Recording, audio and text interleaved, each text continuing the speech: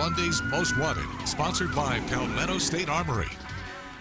Authorities in North Charleston are asking for your help to locate two wanted people. Kayron Birch and Donald Smalls wanted for a warrant on trafficking heroin, trafficking cocaine, and three counts of possession of weapons during the commission of a violent crime. If you see these men, call police or remain anonymous by calling Crime Stoppers of the Low Country at 843 554 1111.